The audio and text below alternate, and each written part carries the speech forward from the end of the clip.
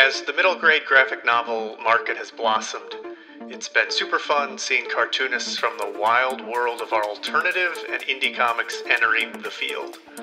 Uh, Zack Soto is a welcomed and exciting addition uh, to this ever growing landscape of kid friendly storytellers. And his new book, Power Button The First Invasion, from Lerner Books Graphic Universe imprint, should, if there's any ounce of good left in this universe, make a big splash.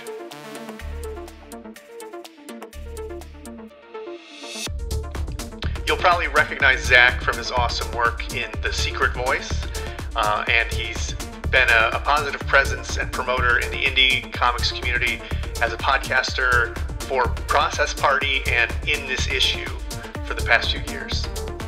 In Power Button, the first invasion, we follow 10 year old Kaz Savage and his cousin Truly Thursday as they navigate the often confusing world of tweens, as I guess they're called now, um, while unknowingly stumbling into an ancient battle of intergalactic supremacy.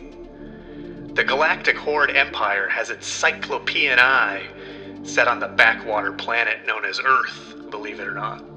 Uh, and the cousins uh, uncover and must learn to master uh, their newfound ability to summon our planet's only hope of defeating them the mysterious Omega Knight Trin Cyclo.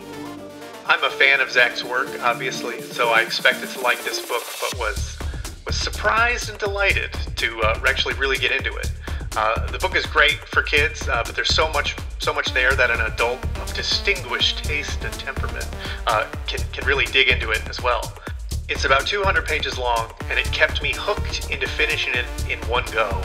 Uh, and as you can probably tell, I get distracted uh, pretty easily. It's got it all, really. Um, a diverse cast of characters that you want to learn more about and are excited to go on this adventure with. A great backstory that offers tons of avenues for the reader's imagination to travel down.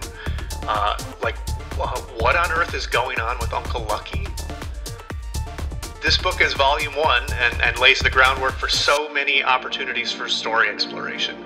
The artwork is dynamic and so full of energy. Once the action picks up, it all just flows so well and suits all of the bombast and mania to a T. This book looks like it was so much fun to make, and it reads that way too. It's kind of comic that uh, makes you want to make comics. A fun little thing happened to me when I was when I was reading this book.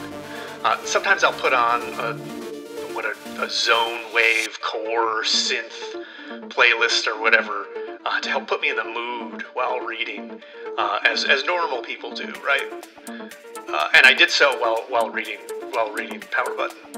Um, I don't remember much about the playlist um, as I was I was really wrapped up in the in the great story, uh, but there was a moment that matched up so perfectly to what I was reading.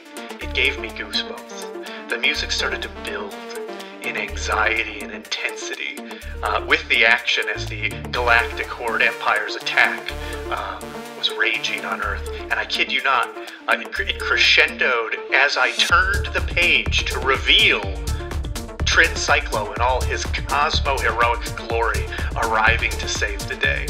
It was perfect if this book sounds cool to you or if you've read it and, and dig it, um, I'd suggest hunting down Zack's 2015 Power Button Number Zero from Study Group Comics.